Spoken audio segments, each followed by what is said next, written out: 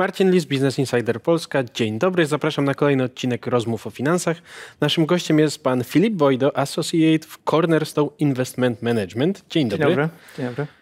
Praca w funduszu to w takim powszechnym mniemaniu jedna z najbardziej wymarzonych prac w sektorze finansowym. No ale fundusz funduszowi nierówny. Fundusz, w którym pan pracuje jest funduszem typu private equity, więc może na początek wyjaśnijmy, czym zajmuje się fundusz private equity. E, szczerze mówiąc, jest to bardzo obszerny temat, natomiast postaram się e, opowiedzieć skrótowo, czym jest e, private equity. Fundusz tego typu zarządza kapitałem dużych globalnych instytucji finansowych, takich jak fundusze emerytalne, fundusze funduszy, czy też kapitał prywatnych, zamożnych osób. I podmiot, o którym mówimy, fundusz private equity, inwestuje ten zebrany kapitał z wymienionych źródeł finansując przedsiębiorstwa, czy, czy też inwestując w spółki, jak trochę sama nazwa nam podpowiada, prywatne. E, jeżeli e, fundusz kupuje spółkę publiczną, czyli giełdową, e, to zazwyczaj z zamiarem zdjęcia jej z giełdy, czyli zdelistowania i uczynienia ją prywatną. Natomiast zdecydowanie chodzi o spółki prywatne i fundusz inwestuje w pakiety kontrolne, czyli udział większościowy w takich spółkach na okres, powiedziałbym taki książkowy, 4 do 7 lat. W tym okresie fundusz ma oczywiście e, w swoim zamiarze e, wypracowanie zwrotów z tej inwestycji. Może to być zwrot dwukrotny, trzykrotny, czterokrotny lub więcej od e, kapitału własnego początkowo zainwestowanego w tą spółkę. I mówię tutaj o kapitale własnym, dlatego że mm, takie transakcje finansowane są też kapitałem obcym, czyli dłużny.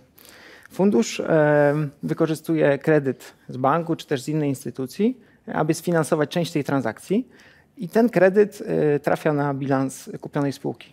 E, w ten sposób poprawiamy ekonomikę transakcji, a kredyt jest spłacany rok po roku z zysków czy też e, przepływów pieniężnych generowanych przez, przez tą kupioną spółkę. W tym okresie od 4 do 7 lat Poza tym, e, że wykorzystujemy to, o czym e, powiedziałem, czyli wykup lewarowany tak zwany, fundusz stara się wprowadzać różne inicjatywy, aby rozwinąć tą spółkę. Może to być na przykład ekspansja zagraniczna, wyjście na inne rynki, optymalizacja kosztowa, zwiększanie marżowości danej spółki, albo rozwój nieorganiczny, czyli kupowanie innych podmiotów, e, integracja ich potem wertykalnie czy horyzontalnie i e, wykorzystanie potem dzięki temu korzyści skali. E, w ten sposób zwiększamy wartość przedsiębiorstwa i po tych 4 do 7 latach staramy się sprzedać tą firmę czy udziały w tej firmie z zyskiem. Może to być znowu transakcja do inwestora finansowego, czyli funduszu. Może to być inwestor strategiczny, branżowy, działający w tym sektorze. Albo trzecia, właściwie ostatnia droga wyjścia to jest e, IPO, czyli debiut giełdowy. I w takim razie wymienił Pan wszystkie mm, elementy inwestycji funduszu. Ja sobie tu ładnie rozpisałem, że to jest e, zdobycie środków, wyszukanie inwestycji, wejście w nią, podniesienie wartości spółki i wyjście z inwestycji. E, z perspektywy osoby, która chce pracować w funduszu private equity, czy taka osoba powinna umieć poruszać się w każdym z tych obszarów, czy to są jednak prace sektorowe, czyli jedna osoba wyszukuje i analizuje spółki, a zupełnie kto inny zajmuje się dopięciem transakcji, a jeszcze kto inny poprawą bilansu tej spółki i znalezienia sposobu na to, by zwiększyć jej wartość. Mhm. E Powiedziałbym, że zależy od tego, na jaką pozycję e, potencjalny kandydat chce się rekrutować. Jeżeli mówimy o, o pozycjach e, juniorskich, czyli analityku, e, no to uważam, że absolutnie nie można od niego oczekiwać, żeby miał już doświadczenie w pozyskiwaniu finansowania, czy też zarządzaniu spółką i podnoszenia jej wartości. Te dwie pozostałe części, czyli mm, wyszukiwanie spółek i i prowadzenie transakcji oraz potem dezinwestycja, czyli wyjście. Mm, to już takie doświadczenie można nabyć e, wcześniej, pracując e, na przykład e, w doradztwie transakcyjnym, doradztwie strategicznym, czy, czy wszelkich zawodach tak naprawdę powiązanych z, z transakcjami. Mm, a w takim razie wspomniał Pan o stanowiskach juniorskich. Jest w funduszu miejsce dla osób świeżo po studiach, czy to jednak jest praca dla osób już z doświadczeniem?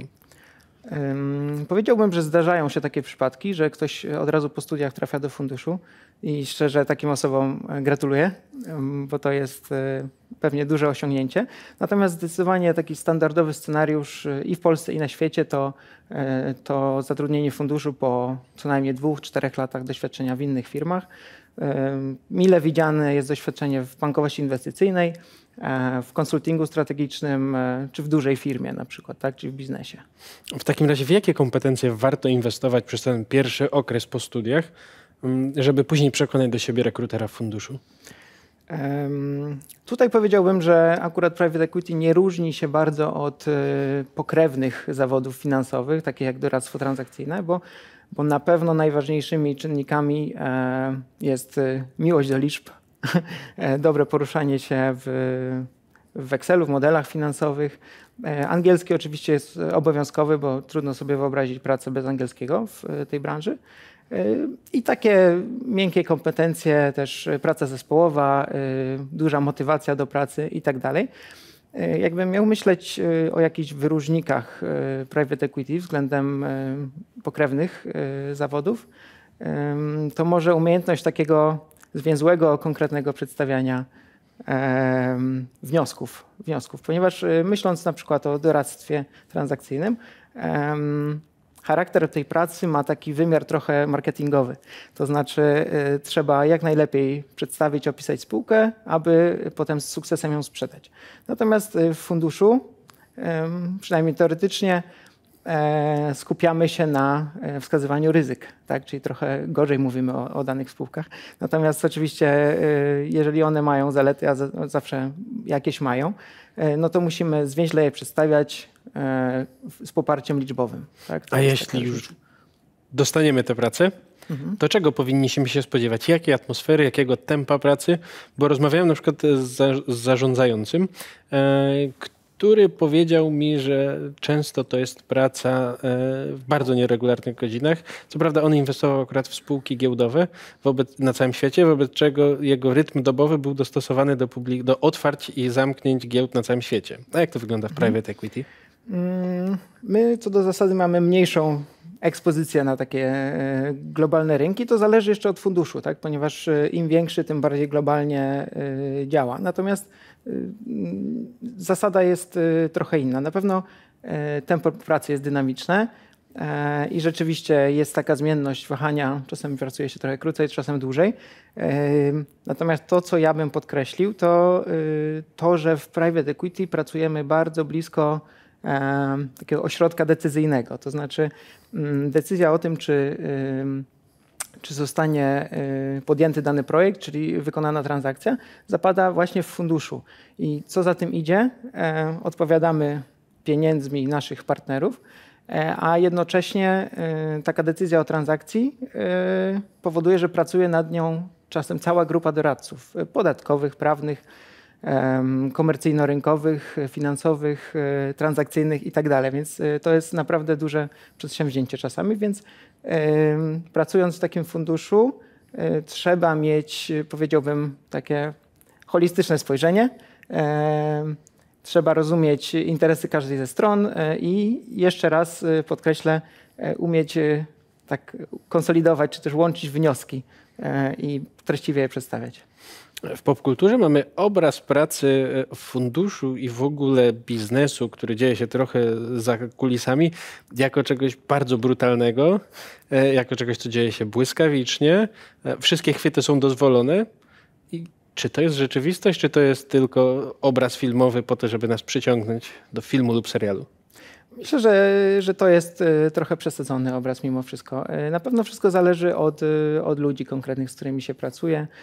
To nie jest tak, że w funduszu pracuje określony charakter człowieka tak naprawdę. No, trzeba mieć oczywiście określone kompetencje i, i na przykład zainteresowanie liczbami, natomiast nie ma takiej zasady, powiedziałbym pewnie 15, 10, 20 lat temu to pytanie mogłoby wywołać uśmiech, e, ale czy praca w funduszu daje satysfakcję na co dzień? Pytam dlatego, że ostatnio e, na łamach amerykańskiego Business Insidera, który teraz nazywa się Insiderem, opublikowano wyniki badania, z którego wynika, że prawie połowa pokolenia milenialsów i pokolenia Z woli pozostawać bezrobotna, niż być nieszczęśliwa w pracy.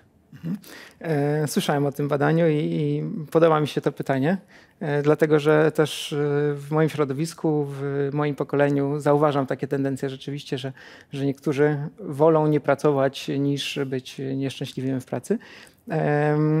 Znam wiele osób z różnych zawodów, lekarzy, prawników, marketingowców czy, czy ludzi w IT i jestem pewien, że wielu z nich, może nawet większość, nie chciałaby pracować na moim miejscu, tak? ponieważ nie czują tego w jakiś sposób. No, na pewno jest to kwestia indywidualna, trzeba mieć e, świadomość e, swoich potrzeb, e, wiedzieć, gdzie się szuka szczęścia. Ja jak myślę o E, o tej pracy i o przykładach takich e, spółek wykupionych przez fundusze. E, I w Polsce to, to mogą być na przykład Empik, Budimex, Smyk, Dino, Żabka i tak dalej. No to mm, są rozpoznawalne przedsiębiorstwa, jedne z największych w Polsce, wpływające tak naprawdę na codzienność człowieka. I, I z tej perspektywy myśląc, wydaje mi się, że to jest super satysfakcjonujące pracować dla nich od strony rady nadzorczej, czy, czy takiej zarządczej tak naprawdę. Oczywiście jeszcze, jeżeli mówimy o analityków e, Funduszu Private Equity, to absolutnie wpływ jest ograniczony, natomiast już dyrektor czy partner e, bierze aktywny udział w zarządzaniu takimi przedsiębiorstwami, no i, i osobiście uważam, że to może wyrywać z łóżka nad ranem. I tu stawiamy kropkę, tym pozytywnym akcentem kończymy. Dziękuję bardzo za rozmowę. Dziękuję bardzo. A Państwa zapraszam na kolejne odcinki rozmów o finansach.